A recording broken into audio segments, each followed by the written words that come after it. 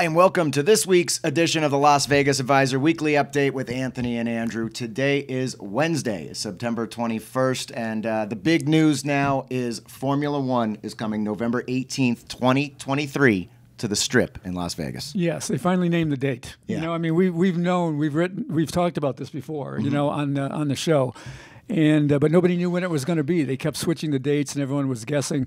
But they said November 18th is going to be the race. Uh, what's interesting about it, it's going to start at 10 p.m. Oh, wow. Yeah, it's going to be like a, a nighttime thing. And you know, like, why would they do that? 10 p.m. It's going to be 1, 1 a.m. on the East Coast, but in Europe, it's going to be like 7 in the morning. Oh, okay. All right. And in Asia, it's going to be like whatever, one o'clock in the afternoon or whatever it is. So, I mean, I think they're doing this for, first of all, they want the to be more of a spectacle, a nighttime thing in Vegas, but also so it's, you know, got worldwide appeal. And I think they're looking at, at uh, you know, t- time frames for everybody around the world. Well, that makes sense. And I got to tell you, this is a real international event because I don't even really like cars that much. I mean, but this is exciting, especially uh, going so fast down the Las Vegas Strip as your backdrop. It just, there couldn't be anything sexier. Well, they're saying up to 200 miles an hour, or, you know, slightly above 200 miles an hour. Yeah. That they're going to be going, and that's going to be down the strip, and then you know a loop, a 3.8 mile loop, um, 50 laps. Um, so yeah, it's going to be wild, but we uh, we still got a year to go. Yeah. Well, we got a year to look forward to it. And it, like you said, international spectacle. Yeah, it's going to be it'll be fun. Start planning. And sticking with sports, congratulations to the Las Vegas Aces for winning the uh, WNBA finals. Yeah, the uh, women's basketball team uh, took it all. They won the championship. It's a big deal in Vegas because it's the first professional sports title that Vegas has. Obviously, we've got the hockey team, we've got the Raiders football, uh, but we've got lots of other teams, and this is the first championship. And um, they beat. Uh, they did it in four games. It was a best of three. They beat the Connecticut Sun in uh, game number four, 78-71. And I'll tell you, Andrew, this is a really big deal in Vegas. I mean, it's the women's basketball team, but it's professional sports, and it's a you know the city's first championship. Yeah, that's super cool. And you know, I see it. I see it advert like you know, congratulations on the side of Allegiant Stadium. Uh, you know, Well, very they're cool. they're really good. I mean, you know, they were they were favored to win it uh, all the way through. Uh, they've got a really really good team, good coach, and uh, yeah, congratulations to them. It's it's cool to see it finally happen here. All right. And now moving on to sports betting competition. Anthony, what's going on with the Circa Survivor? The uh, evil Circa Survivor. Oh no. It's uh, it's all over in two weeks. It only took two weeks for me to be done. Oh geez. All six entries. All all six entries. Five of my entries went on the first week, and the last one I had. If anybody watched, they'll know my pain here. I had the uh, Cleveland Browns. Oof. And with uh, you know, the, all you got to do in Survivor is win. They were six and a half point favorites, so you don't have to cover the spread. All you got to mm-hmm. do is win. With a minute and a half to go, the Browns were up by 13. And the reason they were only up by 13 is because they missed an extra point, or they'd been up by 14. Mm-hmm. All right, the odds that, that were projected at that point with a minute and a half, 99.5% chance to win. Oh geez. So guess what happened? If you didn't, if you didn't, if you watched it, you know what happened. yeah. Tell me what happened. All right, if you didn't watch it, they're playing the Jets, the lowly Jets. Okay. Jets get the ball, they score a touchdown. Uh-huh. They make the extra point. Uh-huh. Now they're down by six. Okay. They kick an onside kick. They recover it. They throw a bomb.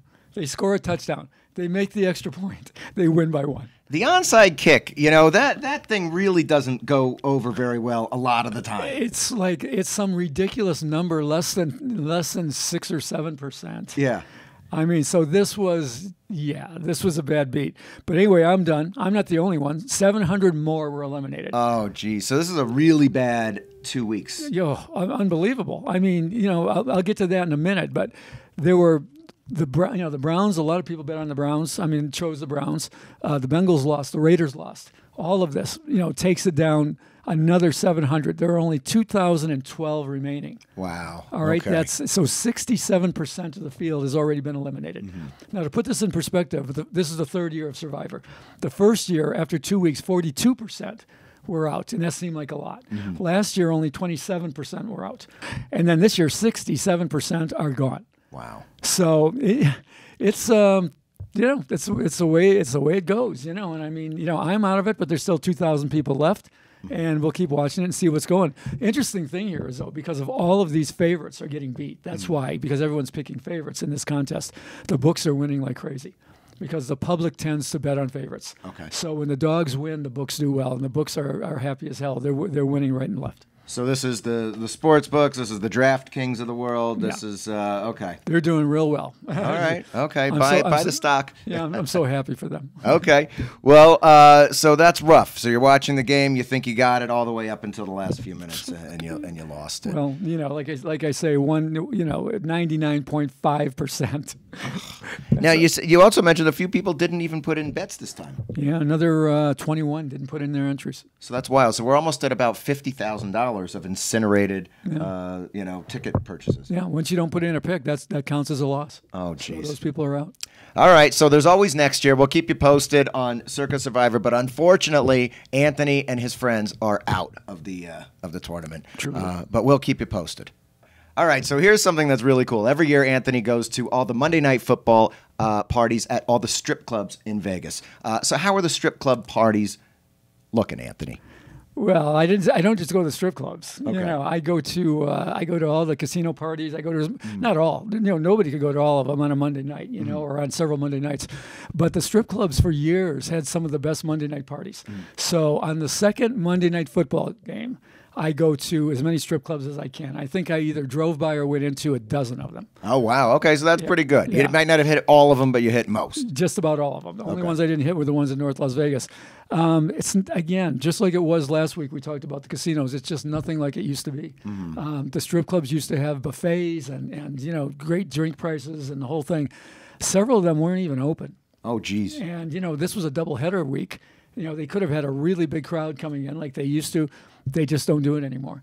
The one great one, the one exception was uh, is Sapphire again. Yeah. Sapphire is, you know, they really do it well. Last year we did a remote from there. Mm-hmm. Um, I talked to the boss over there, and he said, "Come on back." So maybe we will. All right. But they, you know, they're doing it again. It's twenty five bucks, but you get two drinks, and you know, it's it's.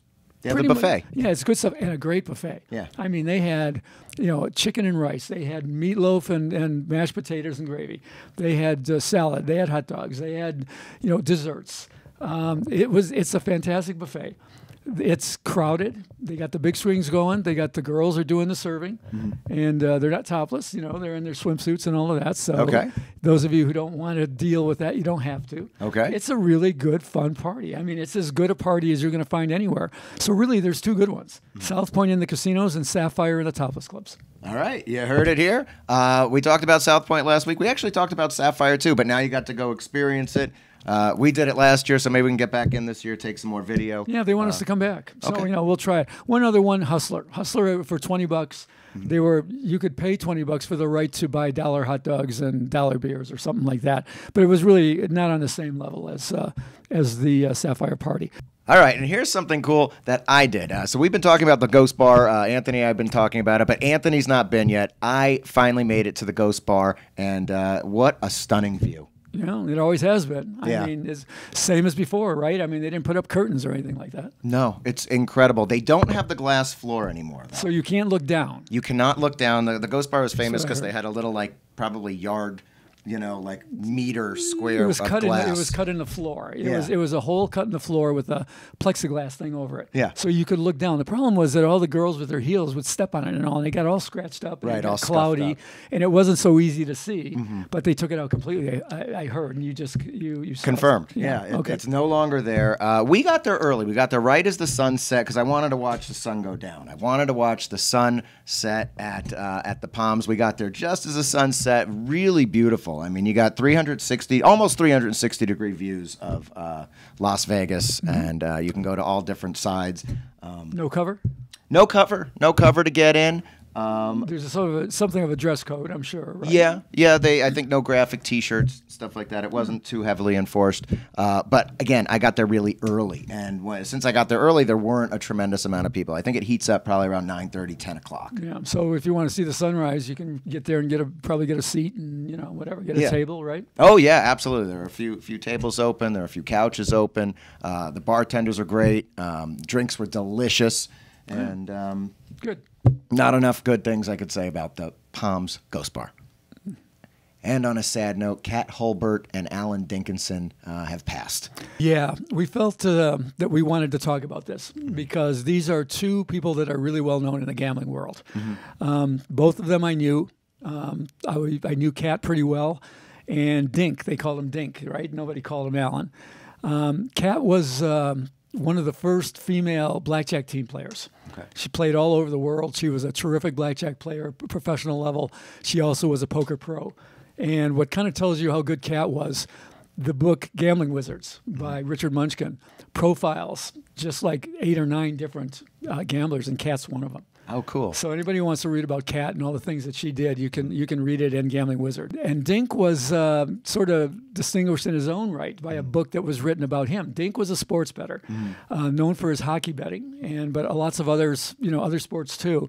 And there was a book called Lay the Favorite mm-hmm. that was turned into a movie called Lay the Favorite and Dink was played by uh, none other than Bruce Willis. Wow. Yeah. That's a, that's a, big star. So, I mean, this was a big budget movie. I think yeah. something like $20 million budget, and it didn't do well at the box office like a lot of gambling movies don't.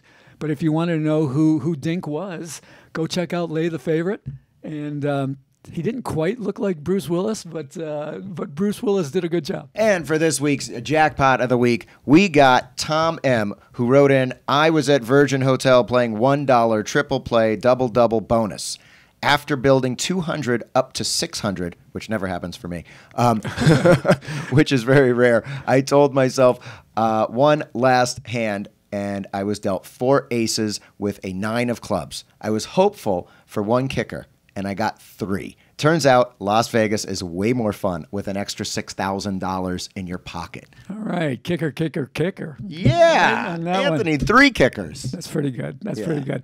Well, he was playing 9 5 double double bonus. Uh-huh. So that's a 97.87% game, which might be about the best game you can find at Virgin, I'm sorry to say. Mm-hmm. I keep mm-hmm. saying Virgin's got to up their game a little bit. But um, he was able to hit.